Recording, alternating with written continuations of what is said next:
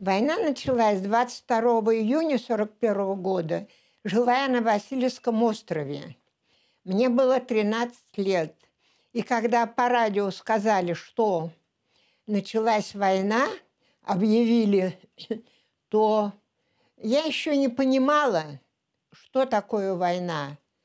Ну, все волнуются взрослые. Ну, война, война. Я же не знала, что такое будет. Только это было 22 июня. 23-го уже стали нас бомбить. И вот я поняла уже, что такое война. Бомбы летели сверху хорошо. Ну, тогда еще снаряды не летели, артобстрела не было. А бомбы уже стали бомбить. И вот 25 июня нас со школы, не только нас, все школы э, эвакуировали э, из Ленинграда. Я попала в Любытинский район. Там жили мы на нарах, в школе, как бы не было. И до 24 июня там было, стали там тоже бомбить. И вот э, надо, приезжали, за мной некому приехать было. У тетушки, у которой я жила, она болела, заболела, у нее рак там был. И приехала мама, у нее две дочки было. Она их забирала, а я с ними. А так как в поезде мест не было, они втиснулись, что у них еще билеты были, а потом столько народу было, про билеты уже забыли, напихался полный поезд, а я на подножке осталась. И когда поезд пошел, я на подножке руками держалась, э, этот самый за поручень или как там, на подножке. И а сзади мешок у меня был с одеялом и с этим, э, с подушкой. Но вдруг бомба попала в наш поезд. Наш вагон остался цел. Только кто был в вагоне, э, все так тряхануло, все друг на дружке. И я в тамбур, а дверь открыта была. Тогда уже там проводник ни при чем. Лезли все в этот поезд, лишь бы в Ленинград попасть домой. И я туда, в тамбур, влетела. И вот я в тамбуре этом э, так ехала друг на дружке, считайте, там сколько было в поезде –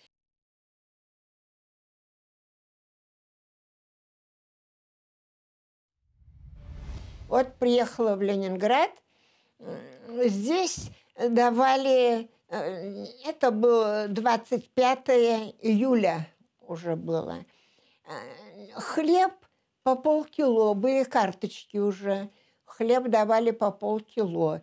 Начало, я вам рассказываю, начало блокады, потом я на фронт пойду. Вот.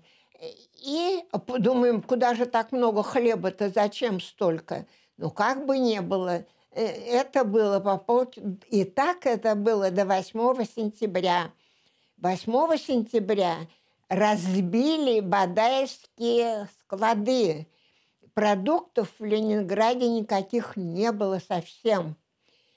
И стали и 25 э, ноября, 22 ноября э, стали давать хлеб по 125 грамм хлеба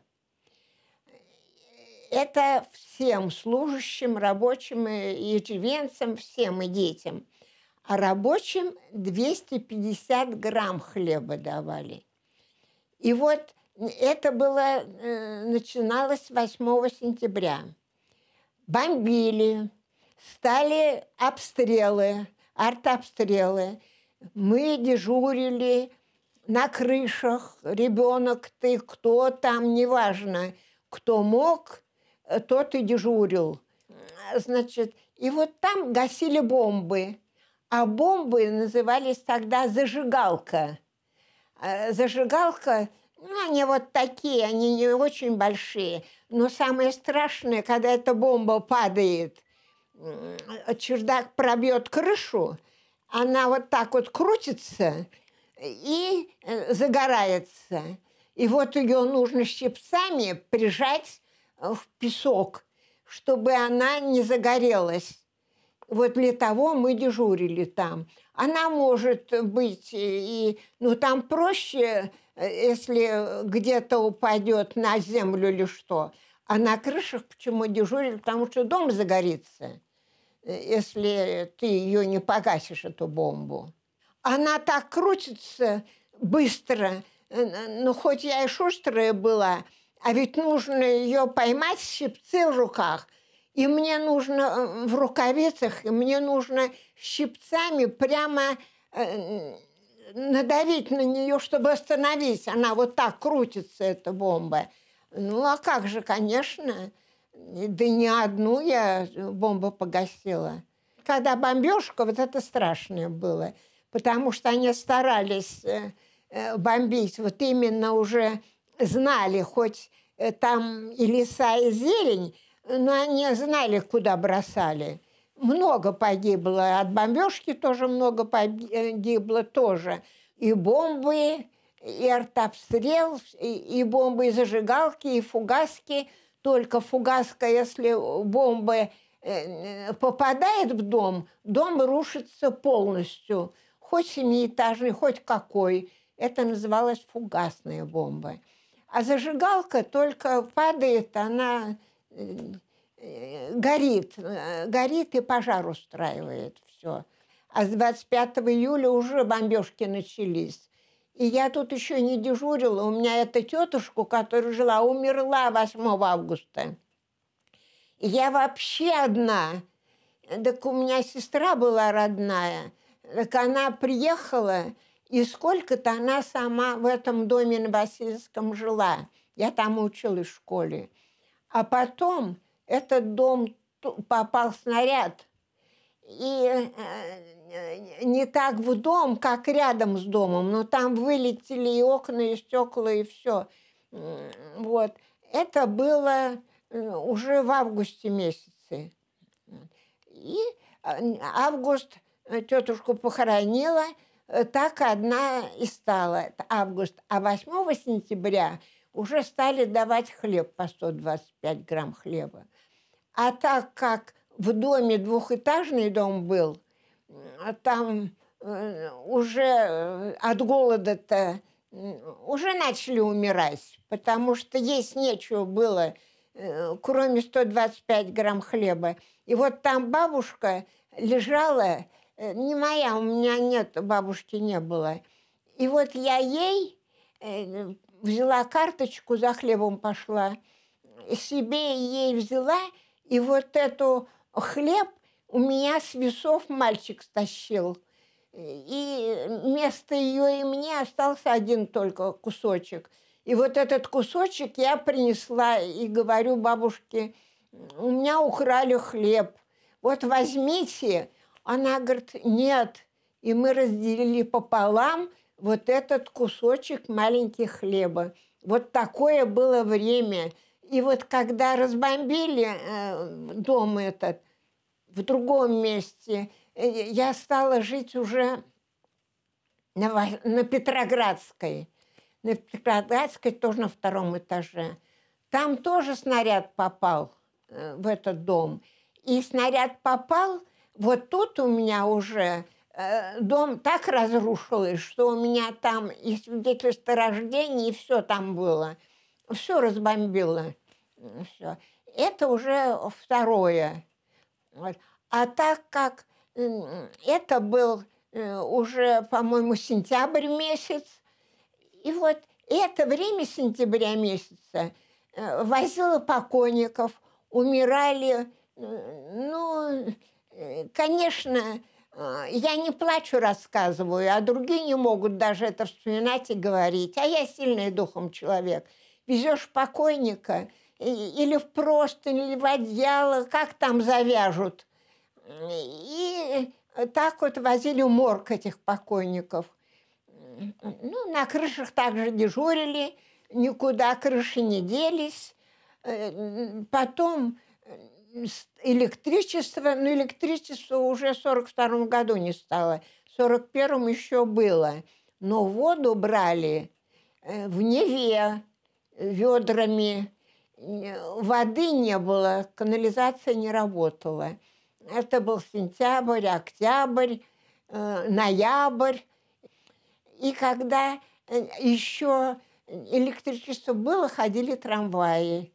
И вот такой случай был. Трамвай, значит, идет день-день-день-день, и вдруг раз снаряд, и снаряд не бомба, а снаряд попадает прямо в трамвай. И там никто не выжил в этом трамвае, потому что прямо снаряд в вагон попал. Вот. Ну и хоть что, а помочь-то ты ничем не можешь. Вот. Но вскоре электричество отключили, не стало. У нас ни света не было, ни воды не было. Э, воду, э, и вот, э, ну там быстро очень замерзло, в ноябре месяце уже мороз сильный, под 40 градусов был. И вот, а этот мороз, и все замерзали. У меня, например, ноги отмороженные. Тогда ведь не было, как сейчас, сапожки или что-то. А тогда все кожаное было, туфельки. И все замерзли. И все, э, все это сильный мороз. И вот 42 год э, начинается. В ноябре уже замерзла э, Ладога. И стали продукты привозить. Значит, в ноябре и в ноябре, уже 25 ноября, уже прибавили, э, стало рабочим, э, стали давать 300 грамм хлеба, а э, всем остальным 200 грамм хлеба. Уже можно было ездить на машинах. Это был ноябрь. Значит, в декабре стали уже вывозить женщин, детей, э, все. И вот 42 э, год так и возили покойников, и также бомбы гасили, и также бомбили. Мороз под 40 градусов. Это что-то.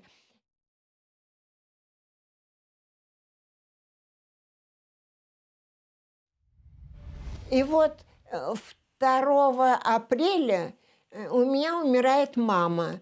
А мама, папа раньше умер, а мама лежала под Смольным, ее парализовала. И вот я туда пешком ходила, а сначала я с Васильевского ходила еще пешком мимо гостиного. И когда мимо гостиного проходили, он горел, и он уже дымился, уже огня не было, а только дым шел. Э, и я это видела, я ходила в неделю раз к маме.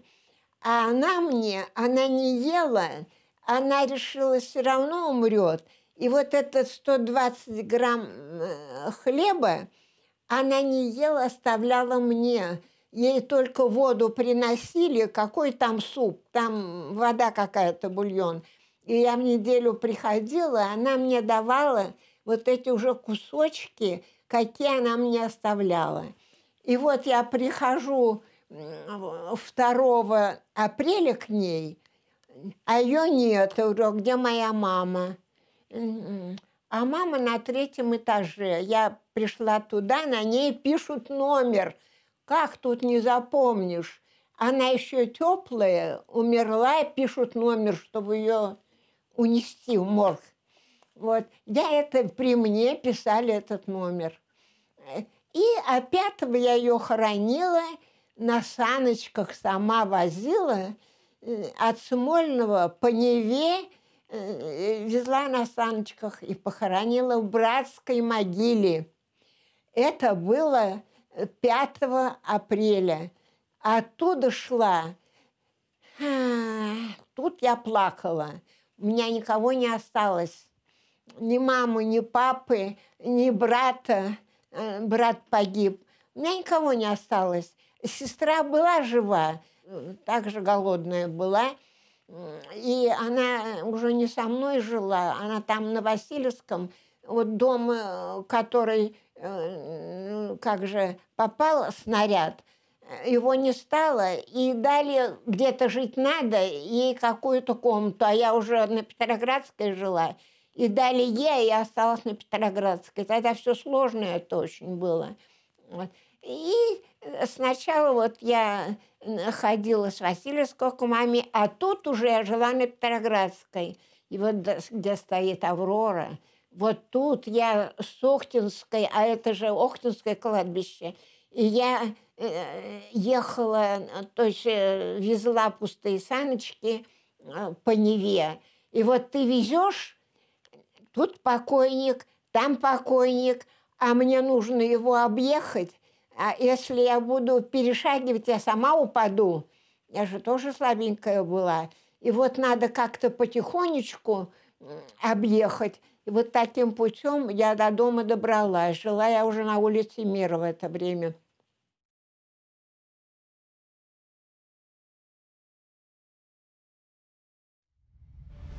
И вот теперь, 10 апреля, мы договорились, э, э, четыре человека, пойдем на фронт.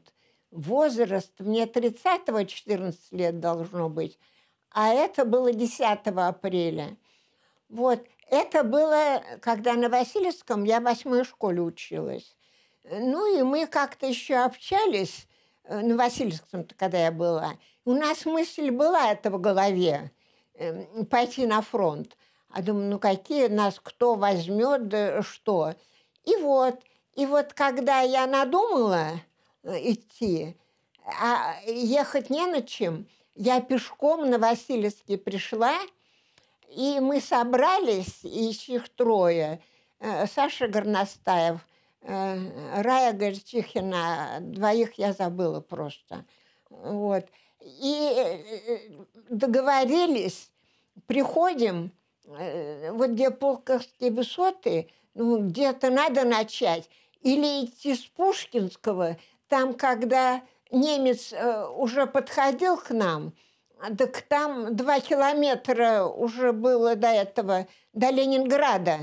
И поэтому, думаю, нет, э, это Пушкин. А вот Пулковского, пошли с Пулковского, там же снаряды оттуда летели – и вот мы пошли туда пешком, не, не, э, а ну-ка в аэропорт.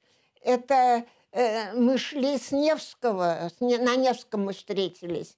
И вот мы пешком туда пришли, никакие, никакие. И оказывается, там штаб, вот где Полковские высоты, э, были такие выкопанные землянки все. И вот в одной землянке, это штаб был там, когда пришли, нас, конечно, не берут. Вы что, смеетесь? Вы же дети. А мне уже 16 было по паспорту, а им по 14. Но почему-то у меня спросили. Говорю, а мне 16. Нам всем 16, их не стали спрашивать. В это время бой начался и бомбежка. И вот с кем мы говорили, вдруг на нас как закричат, что вы стоите? Вы видите раненые? Берите, тащите. А у каждого бойца за плечами, ну вот как рюкзачок, была там палатка. И вот эту палатку надо было взять э, у каждого, потому что когда, вот если надо, э, допустим, стрелять, они на палатку, э, ну, ложатся, вот эту палатку сделают, чтобы стрелять удобно было. Ну, и вот эту палатку мы снимаем у раненого, и на эту палатку ложим, и объяснили, куда, и мы везли в дрafпункт как-то там, там, где медперсонал был. И вот мы возили, а ведь тяжелый очень. И нам приходилось всем четверым. И вот одна девочка сразу ушла. Она не выдержала, она как кровь увидела, так и ушла. Она с трое осталась. Вот мальчик и две девочки. И вот с этими э, трое мы три месяца эти были. это э, вот когда четыре, нам было легче. Два и два. А когда трое осталось, Сашка э, шел впереди, а мы сзади э, двое тащили вот этого раненого. И не думайте, что это тяжело. Это очень тяжело тащить их. Одна палатка-то тяжелая какая. А э, тащить, это же не по ровному месту тащишь. И не рядышком, а когда ты до пункта дотащишь. Это очень тяжело было. Ну, вот это все перед глазами. Тут объяснить-то очень трудно. Но кровь перед глазами всегда стоит. Лопаточки были там где-то подкопать, где-то пролезть, ведь окопы там, без лопаточки там никуда. Лопаточки были. Э, там не хватало оружия для бойцов настоящих-то. Оружие, война-то началась, у нас не хватало оружия. Какое там э, дадут ребенку 16-летнее оружие, когда настоящим бойцам не хватало оружия? Я-то научили бы меня, я бы стреляла, но мне не дали его. В руках я держала его. Показывал мне один боец. Я говорю, хоть бы раз дали одного немца убить, потому что, ну что ж это, быть на передовой ни одного немца. Давай я тебе покажу. Он показывал, где нажать, как стрелять. Он мне все показал. А в школе вскоре меня ранили, контузили, и мне не пришлось ни одного немца убить. Вот это я жалела очень. Вот это я жалела, что я ни одного немца не убила. Видеть видела. А ненавидела, до ужаса ненавидела их. Так бы вот своими руками задушила. Потому что, а когда, да, когда мы пришли-то на фронт, да куда вы, дети? А мы пришли Родину защищать. Это мы-то, дети, пришли Родину защищать когда берут только на фронт 18-летних. Я никогда о смерти не думала. Нет, я не боялась. Да меня не убьют, я не думала, что меня убьют. Я таскала, там бомба летит или снаряд, ну летит, э, меня не застал. Я как-то все выживала.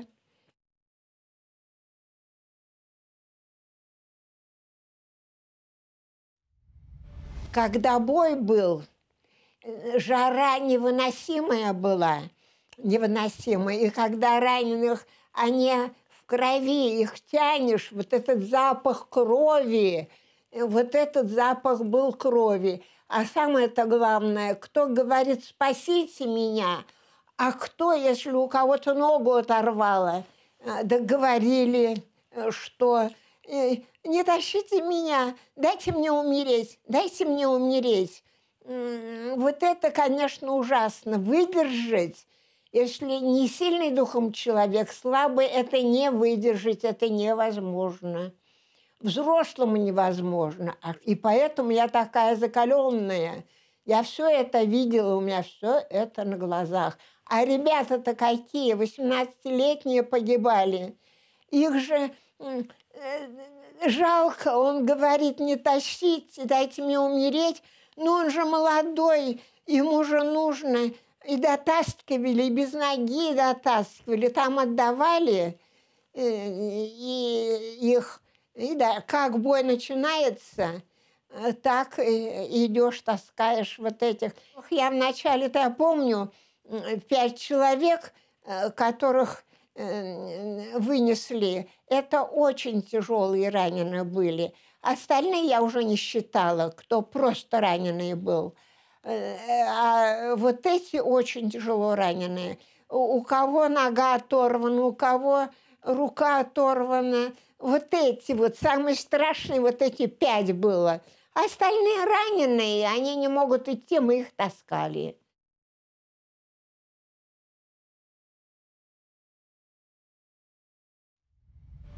А с кем я буду отмечать день рождения-то?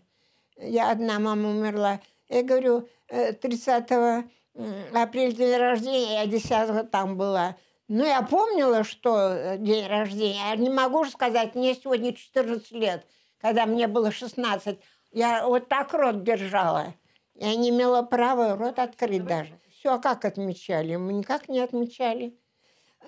Да, но были, когда вот старше нас, э, так там были где-то, вот когда обедали, там щекались где-то 100 грамм, выпивали или что они. Мы-то э, этим не пользовались. А там чокались, чокались.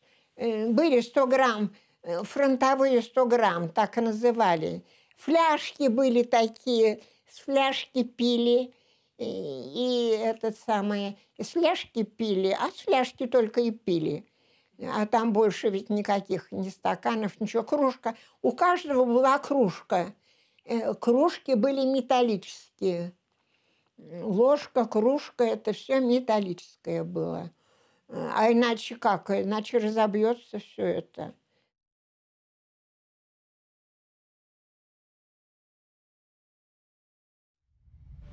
Мне какие-то дали штаны. Э, я э, не помню, я же маленькая была, а там все большие – и, и какую-то гимнастерку э, э, дали, э, руки вот так вот закатывала, потому что все большое, я маленькая, а штаны вот так вот подвязывала, веревкой подвязывала, потому что ремень никакой не подходил. Еще сапоги какие были. Это, это что-то.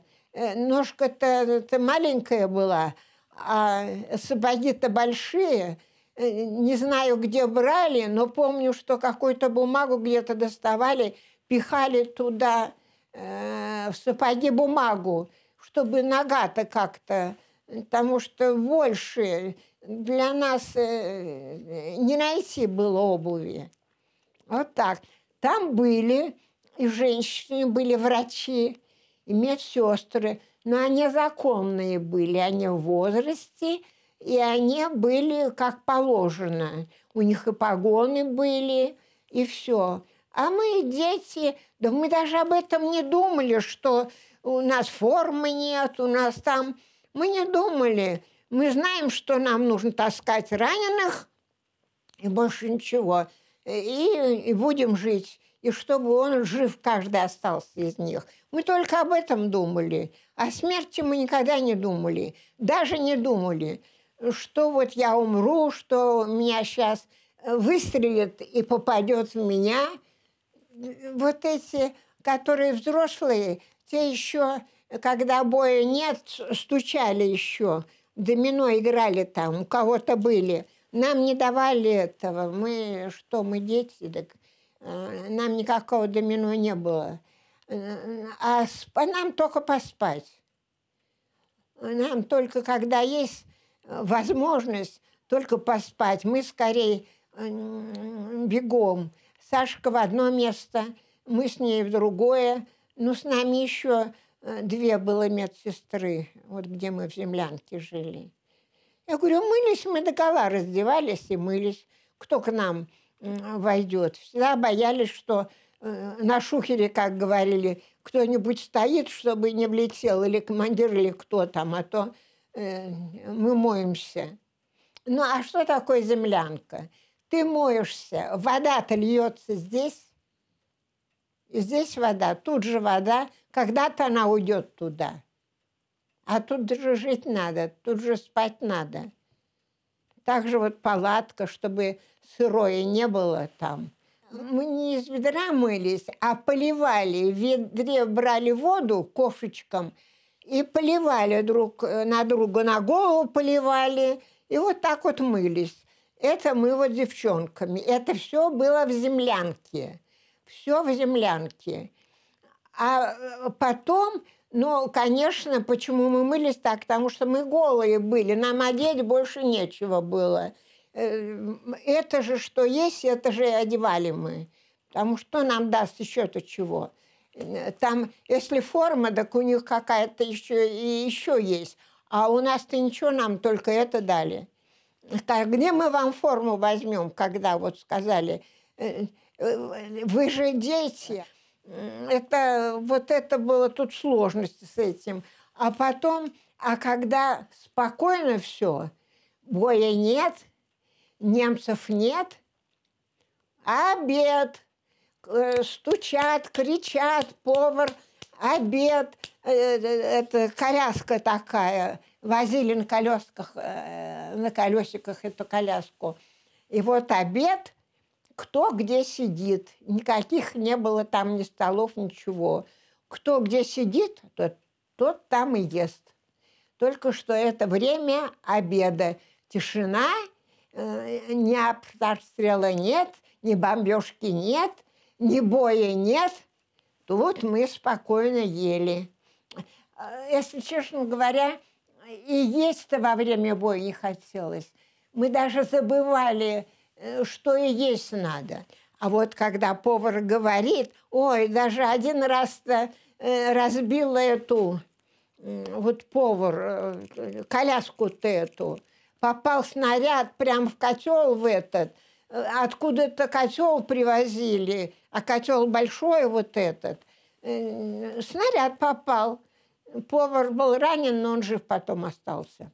Нас кормили, Э, кормили, мы голодные-то не были, но кормили, гречи тогда не было, тушенка была с перловой крупой, с перловкой, а гречи не было тогда. Потом считали гречу, потом, когда стали давать.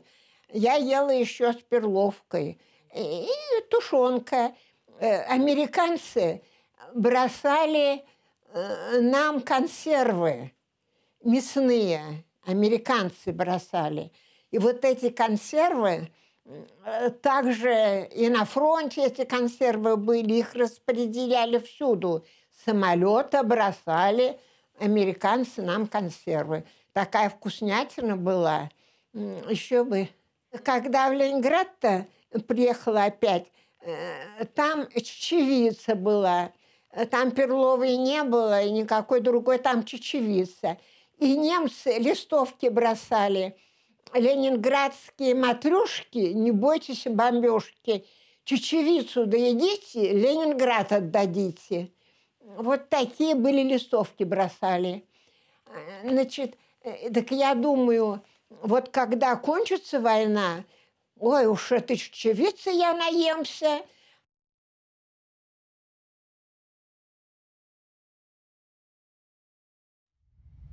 куда я только э, вот возила как санитарка раненых.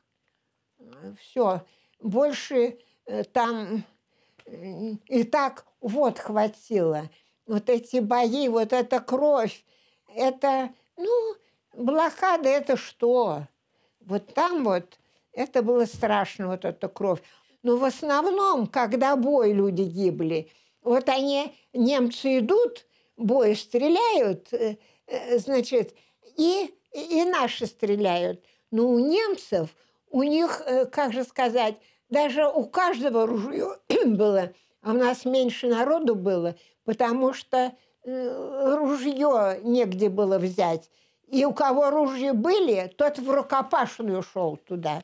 А потом пускали туда, у кого ружья нет, так рукопашные только. Когда встречались уже с немцами, так они, ну как, борьба, что такое рукопашная, кто кого побьет. Такое были. Но э, у них были ножи. Вот э, у кого не было э, ружья, у того ножи были.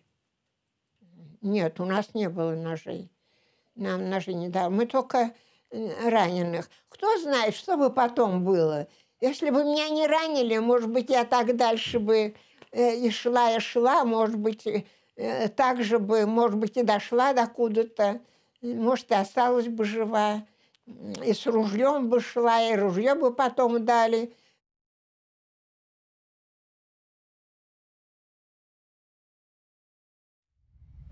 Когда началась бомбежка, и снаряд, и снаряд как попал – и нас э, разбросало все, кого куда. А кого мы в это время мы тащили в палатке раненого. А он, он кричал, не трогайте меня, дайте мне умереть, не трогайте меня, дайте мне умереть. А мы все равно тащили.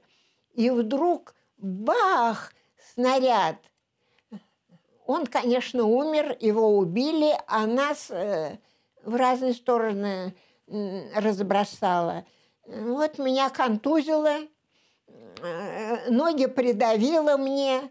И это, честно говоря, это трудно вспомнить вот этот момент, потому что я была контужена. И э, меня увезли, я перед глазами ничего не видела. У меня речь потерялась, слух потерялся у меня. Но э, соображала, я плохо даже и соображала, я уж не помню, как, что и было. Вот только помню, что нас разбросало. Я очнулась в госпитале, это на Петроградской, раньше называлась Скороходова улица, там госпиталь. И вот я там месяц пролежала, слышать я плохо слышу, э, говорить э, речи тоже плохо говорила я, э, тоже плохо говорила. Вот. Ну, как бы не было, когда меня выписали, значит, из госпиталя, конечно, их я не нашла. Ни Сашу, ни Раю. В общем, я их э, э, так и не знаю, куда делись. Вот нас разбросало вот это вот все.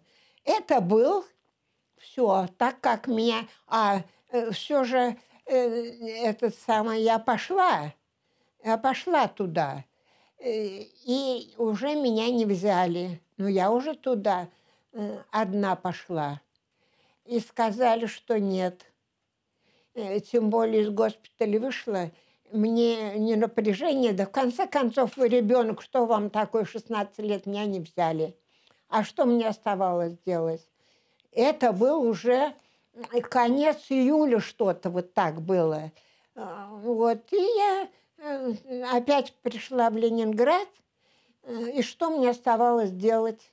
Э, что как-то надо, мне рабочую карточку надо, а 16 лет, ну, я пошла дворником.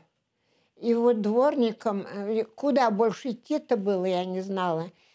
И мне рабочую карточку дали – я получала 300 грамм хлеба уже. Вот. А что такое дворник? Это значит э, дворник покойников возить, собирать, ходить э, этих покойников, где они лежат. Где-то лежат уже кто-то сумел их в одеяло или просто завернуть, кто-то никак.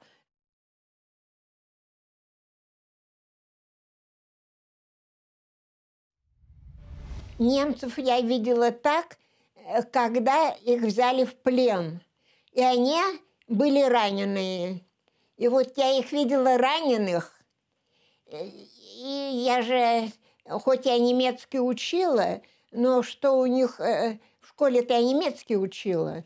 Но я не же все, не все же слова знала, что их спрашивали. Там был переводчик. Вот. И ни одного немца мы видели, ни одного но они все были раненые. Э, ни одного не видела, чтобы он сдался или что-то. Были только раненые. Видели, но все были худенькие. А когда вот эти э, поймали этих немцев, фрица, подходили, фриц, нет, как же мы говорили-то, фриц, я сейчас забыла, э, как и говорила, я уже забыла даже, как я говорила, проклятый вот как. Ты проклятый фриц, зачем ты нас убиваешь? А тот не понимает, что я говорю. Допустим, они же русские не знают. Ты лепишь, лепишь, что ты его ненавидишь. Подохли бы вы все, что вы сделали, сколько у меня и брат погиб, и папа все погибли. Вот ты, а он не понимает русский язык, а все высказываешь ему все выскажешь. Было такое, как мы их ненавидели. Ой, проклятый фриц. Так вот и говорили. Вот фрицы. А когда уже э, я э, с фронта... Меня не взяли, когда уже обратно на фронт. Э, пять немцев взяли в плен, и их вешали на площади Калинина. Вот тут мы не только я, снег шел, вот это я помню хорошо. Мы шли мимо Филянского вокзала, э, снег падает, мы пешком идем немцев посмотреть вот этих уже. И вот они висели пять человек. Э, генерал, лейтенант там, ну, в общем, их пять. Генерал-то в возрасте, а молоденький лейтенант, он молоденький, на всем, я не знаю, сколько лет, я видела только пожилого генерала, и это. Но мы тут шли, я не одна тоже, все идут. Кто в Ленинграде живет, идут, и я с ними иду. Посмотрели этих немцев, но там генерал вот такой толстый был. Э, думаю, я там э, на фронте худенькие все, а это такой толстый – Эм, ну, с погонами висели они. Висели, прямо их повесили. Но они заслуживали это. И там э, кто-то говорил, выступал, я сейчас не помню, говорил, вот этот генерал, сколько он погубил людей, поэтому кто вот здесь висит, они очень много погубили, много тысяч погубили, погубили людей.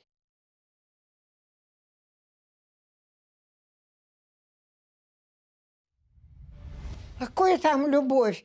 Э, там умирающие все, какие там э, любовь? Э, там в бой идут и э, тут же умирают. Тут кто умирает, тут прямо и падает, умирает. А кто ранен, мы возили. А тут, когда бой начинается, в него э, попадают, он и падает, и умирает. И его уже пользы нет никакой, никуда не увезешь. Какая там любовь? Да и потом, и в 14 лет, какой там любовь? Э, да и не думал никто об этом. Я замуж-то вышла, в 31 год был, потому что я так уже э, настрадалась, я всего боялась, я без родителей. Э, так я одна и была, уже 30 лет я все одна. Оболела, падала, сознание без конца теряла – и вот врач, помню, гинеколог сказала, господи, ну с кем-то ты? Я говорю, да вот встречаюсь, он на три года старше, приведи его ко мне. Вот я э, к врачу привела его домой, домой. Ну, как она на меня закричит, ты ее не слушай, ей надо замуж выходить э, и здоровая будет, и все. Ну, как вы думаете, без родителей, без родных – и голодная, и вечернюю школу кончила, и в институт поступила. У меня в голове только в институте. И, ну, кто-то нравился, но я всех боялась. Я близости хоть с кем боялась. И в институте даже.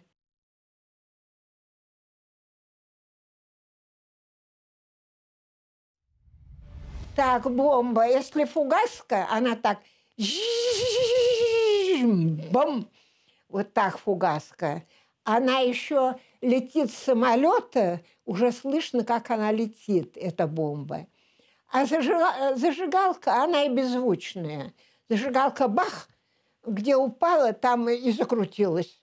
А вот фугаска, это ой как, ой как страшно. Это в голове вот эти бомбы фугаски. Э, так не однажды летит бомба, когда начинает бомбить, они бросают одна за другой, летит бомбы. И вот они даже, не знаешь, э, э, пищит, звенит. Такой звук ужасный. И одна, и вторая, и третья, они летят, и вот такой звук издают, звук. А зажигалки там звука никак. Ой, как летят э, эти звуки, вот так вот в голове они звучат эти, как они летят, эти бомбы. Потом бах, какой-нибудь дом, и дом разваливается. А были случаи, что дом-то развалился, а люди в блокаду уходили в этот бомбоубежище. А когда попадет этот э, бомба в дом, и засыпала бомбоубежище. И оттуда им не выйти из бомбоубежища. Засыпан. И вот что приходилось. И вот приходилось разбирать вот это все, чтобы дверь открыть.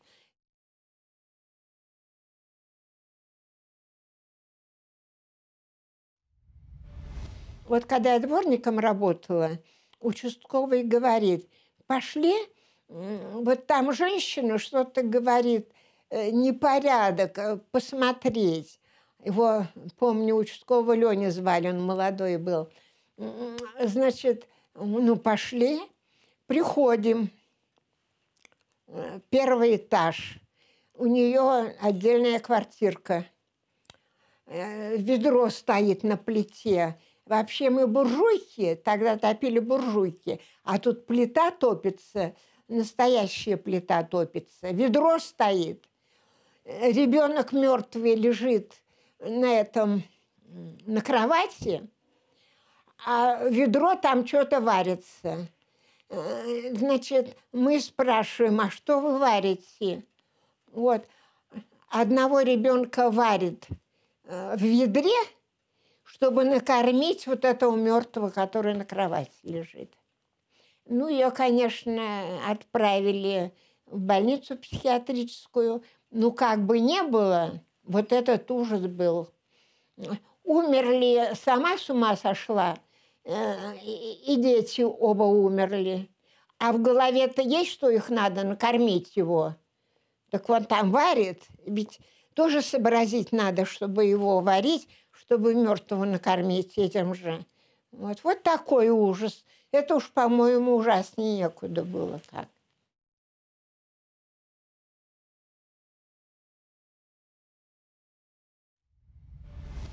Тушенка, они бросались в ящиках, а ящики такие, они не деревянные, не пойми какие там, я уж не, не знаю, как рассказать, но знаю, что летит она, какие-то мешки, и в этих мешках несколько банок стоит типа ящика. Там и вещи, и зимние вещи сбрасывали, всякие были. И мне досталось, мне достались ретузы и шапочка теплые достались мне. Ну вот, и распределяют. Люди специальные были. Кому э, тушенка, и делили. Вот это организации, вот столько-то банок – а много сбрасывали. Вот это организации, вот столько-то банок. Ну, а я в строительной организации работала. Помню, вот этот ящик к нам принесли. Так что там было, не спрашивайте. Всем э, нам хочется попробовать скорее, э, какая там каша, чтобы хоть что это такое э, за тушенка-то. А вот тут я и попробовала. Мне банка досталась. Ой, какая вкуснятина! Ой, ой, ой, ой, ой. Это знаете, что такое тушенка? Вот как наша копченая колбаса. А там вот эта баночка, она, там нет, вот как сейчас покупаешь, э, и там какой-то жидкость, жир там или что. Нет, там просто как колбаса. И ты вот так разрежешь ее, ой, какая вкуснятина. Так это, это же с ума сойти было, какая попробовать эту вкуснятину было. А вообще, конечно, что мы ели? А весна началась. Крапиву, лебеду мы ели. Больше-то э, никакой, только лебеда и крапива была. Больше там и зелени-то никакой не было. Мы только это и ели. Ой, э, потом э, блокаду у каждого дома копали, сами сажали. Турнепс. Мы сажали турнепс, это я помню.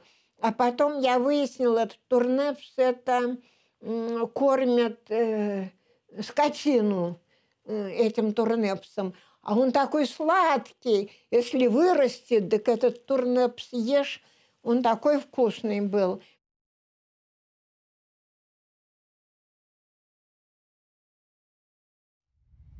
Было радио, телевизоров не было. По радио говорили, там партизаны, там партизаны защищают родину. По радио говорили, в том-то районе, в том-то районе. А я решила, а почему я не могу защищать родину? Э, мне скоро 14 лет. Я тоже хочу защищать родину. Это еще мама не умерла. Это так вот я думала – и с девчонками говорили. Мы это все обговаривали, что пойдем защищать Родину. А когда мама умерла, вот тут я точно знала, пойду, а кому я нужна? Я буду Родину защищать, чтобы люди другие-то были живы, чтобы Ленинград, э, чтобы не попал немец в Ленинград. Мы очень боялись, чтобы немец. Мы защищали Ленинград, мы свой Ленинград защищали. И не думали о том, умрешь ты, не умрешь. Я защищаю город, я защищаю свой город, чтобы немец не попал к нам в город. А я даже помню и говорила одному, хотел э, попасть в Ленинград, вот ты сам попал, тебя здесь убьют. А он ничего не понимает все равно, что я говорю. А может, и понимал. Откуда я знаю? Знал он русский, не знал. Вот так вот было. Родину, родину мы э, пошли. Тогда не было же никого выгода какая-то или как. Это уж так совпало, что э, родину защищать, ну там хоть кормили. Но когда я пошла, уже давали 300 э, грамм. Я рабочая была, карточка. И мне уже 300 грамм хлеба давали. Ну, а это родину тогда только за... Да, еще за родину, за Сталина. Так и было. Ведь вот бой идет, когда немцы идут, бой начинается, в ружье вот так кричали. Вот, рука вперед, за родину, за Сталина. Вот так кричали. А, э, значит, за родину, за Сталина э, кричали, когда никто не останавливался. Вперед шли сначала тоже момент. Э, командиры все. А командиры, это значит, кончили училище, курсанты, там их командирами ставили. И вот сначала они впереди шли, за родину, за Сталина, когда говорили. Их много очень убивали. А э, так как вот э, их командиров, их надо еще учить, и потом приказ вышел, чтобы их вперед не пускать. Это Жуков так распорядился. Когда я пришла, там Жуков был. 268-я дивизия была. Э, там Жуков был. А потом, а когда уже э, меня ранили, уже Говоров был.